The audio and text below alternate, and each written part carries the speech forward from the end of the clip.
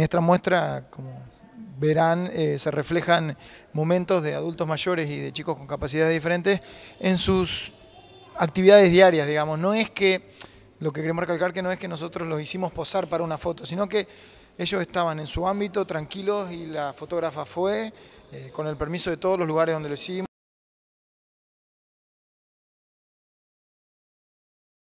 Estas actividades son tanto en la Dirección para la Inclusión con Personas con Capacidad como en el hogar, eh, son durante todo el año y cada vez se hacen más y en conjunto entre nosotros. Eh, venimos trabajando juntos porque, porque la Dirección para la Inclusión de las Personas con Discapacidad y la Dirección de Adultos Mayores, yo siempre digo que hay una línea muy finita entre una cosa y la otra porque hablamos de adultos mayores y hablamos de movilidad reducida, hablamos de alguna discapacidad adquirida por los años. Por eso es que muchas actividades las hacemos en conjunto.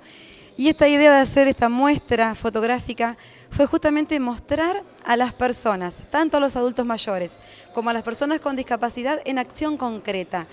¿Qué quiere decir? Mm, eh, yo estoy viendo ahí las imágenes de las personas que están participando de los talleres, por ejemplo, de educación física. Nosotros desde la dirección apostamos muchísimo al deporte como herramienta para las personas con discapacidad para desarrollarse y sobre todo para incluirse los talleres de arte, eh, la murga inclusiva que trabaja con nosotros en, la dirección, eh, que trabaja mucho con la música, con los instrumentos, con el baile, con la danza, con la destreza, y que tuvimos la oportunidad de compartir con los adultos mayores una tarde.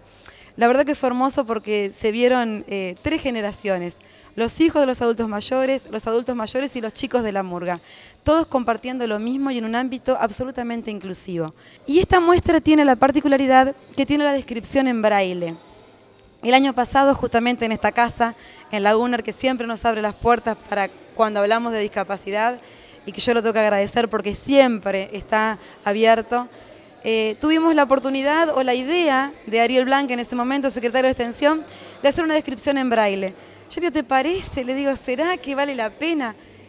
Y voy a contar la anécdota porque es más que significativa. Ese día yo no había podido estar porque tuve que viajar a Rosario y una chica que vino, que ciega, me mandó un mensaje y me decía, Roxana, es la primera vez en mi vida que vi una foto. En la descripción de Braille, además de contar lo que hay en la imagen, también se cuenta la expresión de la persona, describir las sensaciones, las emociones, los gestos. En este caso las fotos son más que significativas. No es lo mismo que una persona esté sonriente, que una persona esté triste o que esté levemente sonriente, o que esté cansada, o que esté agitada, o que exprese incertidumbre. Bueno, eso está expresado en braille, para que la persona con discapacidad visual pueda disfrutar de la muestra, tanto como las personas que vemos, de lo que es la imagen. Ese fue el sentido fundamental, inclusivo de esta muestra, que fue mostrar los talleres de discapacidad y de las personas, los adultos mayores, pero además que, sean que sea inclusiva. La verdad que es la primera muestra de fotografía que presento.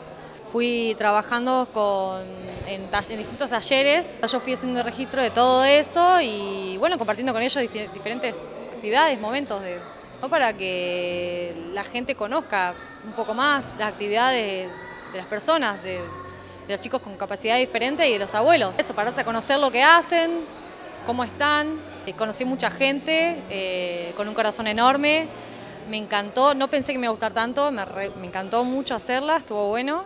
Eh, aprendí muchísimas cosas, vi cosas que nunca había visto, que me gustaron y me dio más ganas de seguir con esto, de seguir haciendo muestras parecidas a esta o tema diferente o trabajar con cierta gente que yo no conocía.